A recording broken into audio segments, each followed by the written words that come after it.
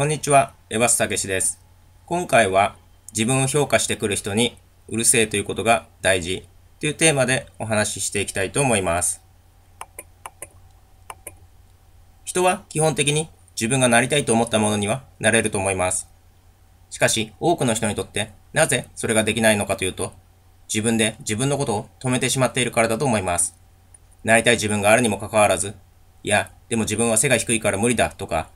自分はそこまで頭が良くないから無理だ、などと言って、自分の願望を否定しているので、行動を起こすことができなくなっているのだと思います。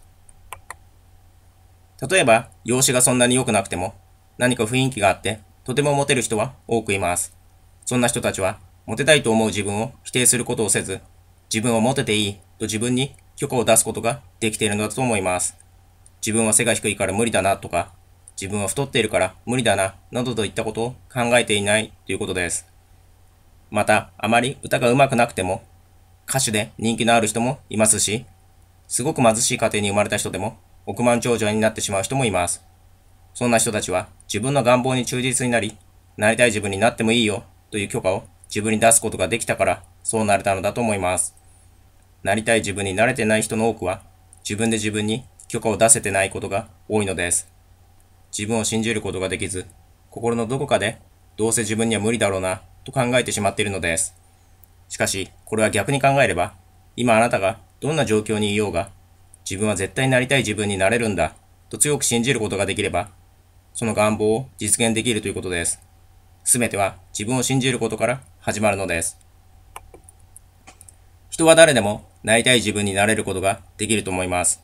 しかし、それができないのは、世間の常識に自分を照らし合わせて、それが実現可能か不可能かを決めてしまっているからです。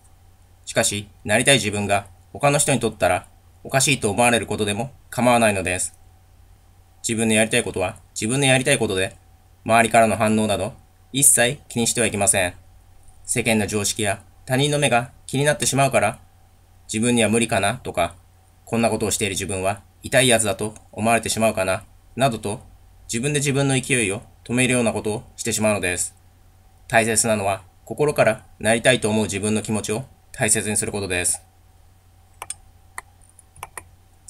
思い通りの人生を送れていない人の多くは、周りからのネガティブな反応を恐れて、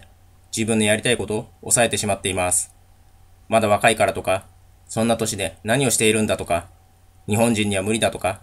お金や才能がないから無理だとか、あえて自分の行動を止めてしまうような考え方を受け入れてしまっているのです。